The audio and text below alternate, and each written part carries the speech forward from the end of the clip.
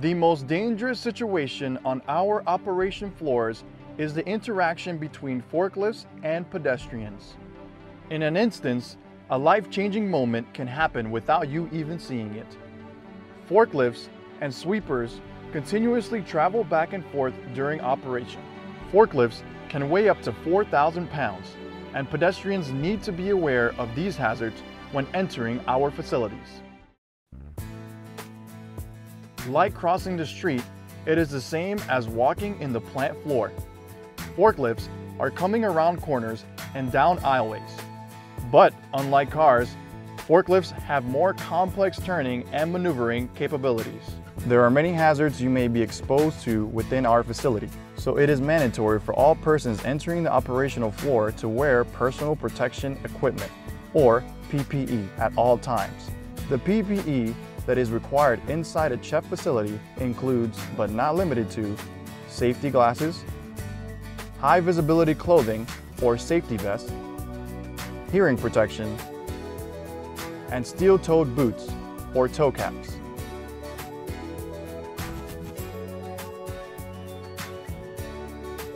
Forklifts are designed to fit into tight spaces and carry heavy loads. Forklifts can turn sharply around corners from behind wheels and can move unexpectedly without notice. While in the plant, you need to be aware of all of your surroundings and be extremely cautious. Therefore, talking on cell phones is not permitted inside the plant. Forklift operators might be focused on the loads instead of his surroundings, so be sure to make eye contact with an operator if crossing an intersection or a roaming area. Stay in the pedestrian lanes when walking around the plant operation floor. These lanes are there to save you from interaction with any powered industrial trucks and they must be followed. Always follow signs, beacons, or sirens that may be installed in the plants. These warning systems will protect you from oncoming forklift activity. Always stay in the segregation lanes and never leave the lanes unless you are authorized by plant management for a non-routine task.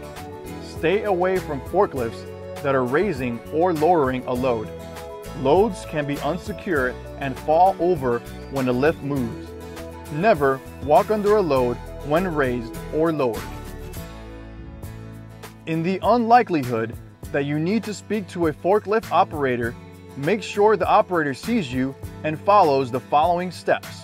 The operator stops the engine, puts his emergency brake on, and when you are done speaking with the operator, he must wait for you to leave before restarting his engine. If you see an operator driving fast or acting in any unsafe manner, it is your duty to report the operator to a plant supervisor. Let us review some key points from today's video. Wear high visibility PPE. Do not use cell phone on plant floors. Only walk within designated pedestrian paths. Never walk under a load. Stay with guide when visiting a facility. Make eye contact with forklift driver if paths may cross. Do not engage in discussions with forklift drivers. If discussions must occur, driver must shut down forklift and engage brake. No matter if you are a visiting customer, entering a storage warehouse, or walking on the same facility production floor, always be mindful of your surroundings and know where all forklift activity is present. Remember, it only takes one second of not paying attention to change your life forever.